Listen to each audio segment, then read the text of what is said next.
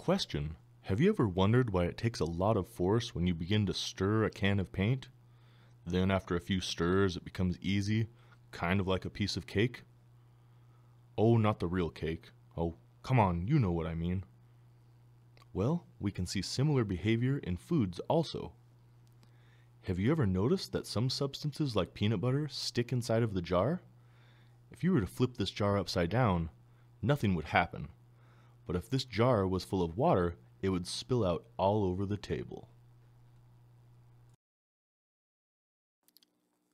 Welcome to the world of rheology.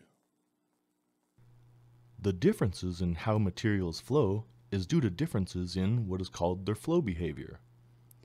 There are four main categories of flow behavior Newtonian, shear thinning, shear thickening, and Herschel Bulkley. Flow behavior is determined by shear stress versus shear rate. Newtonian behavior is considered to have a linear relationship between the shear stress applied and the shear rate experienced by the fluid. The shear stress of a Newtonian fluid is the fluid's viscosity multiplied by the shear rate being experienced by the fluid. This means that the more force you apply to the fluid, the more the fluid will flow. Shear thinning and shear thickening fluids follow what is called power law dynamics. Shear thinning, as the name points out, thins as you apply more force and shear to that fluid. There are not many materials that will thicken when stirred, but many do thin out. Thinning occurs when you stir a cake batter or mayonnaise. The more you stir them, the easier it becomes to stir further. By the same note, shear thickening fluids become thicker as you stir them. This means that they put up more resistance to the stirring as you continue to mix them. You can see this acted out if you were to add cornstarch to hot water. The solution will thicken as the cornstarch granules swell. For these fluids that follow power law dynamics, the shear stress is calculated by taking the shear rate being experienced by the fluid, raising it to the power of the flow index, and multiplying that all by the proportionality constant, K. Well, apart from these fluids which begin to flow right at the moment you apply a force, there are others which like to sit, much like a sloth, until you apply enough pressure to get them to move, or in the case of a fluid, get it to flow. You can see this concept executed well while applying peanut butter onto a cracker.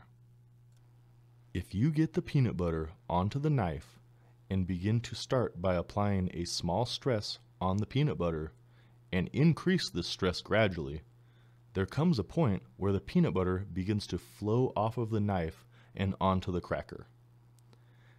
At this point, the peanut butter has exceeded what is called the yield stress, or the force that needs to be overcome to produce a flow.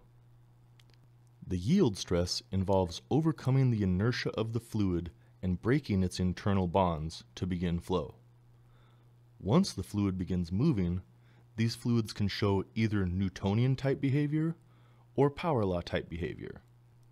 The ones which exhibit Newtonian behavior after overcoming a yield stress are called Bingham plastics. Those which exhibit power law dynamic type behavior after overcoming a yield stress are known as Herschel Bulkley fluids. One example of a Bingham plastic is the toothpaste that you used to polish your grill this morning. An example of a Herschel Bulkley fluid would be peanut butter. Bingham plastic and Herschel Bulkley fluids follow the same formulas for Newtonian and power law dynamic fluids with the addition of an extra term used to account for the yield stress. Flow behavior is not always apparent by visual inspection. However, a piece of lab equipment called a consistometer can help. A consistometer consists of a chamber with a door and a slightly angled ramp.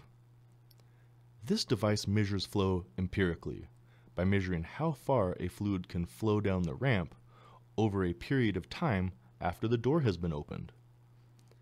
This instrument gives us a measure of consistency, which, keep in mind, consistency is not the same thing as viscosity. This can be useful to compare fluid flows, but not necessarily for any kinds of calculations. That is because consistometer's unit of measurement is unique to the device, meaning however long it may take for a fluid to flow down the ramp will not give you the tools you may need to calculate viscosity or shear rate. For measuring material properties that can be quantified and used for calculations, the best tool for that job is called a rheometer. With this fancy piece of machinery, we can measure stress over shear rate. This data can be used to gain information about fluid flow and to classify which type of behavior it is exhibiting. Until next time, folks, tune in for more adventures in the world of rheology.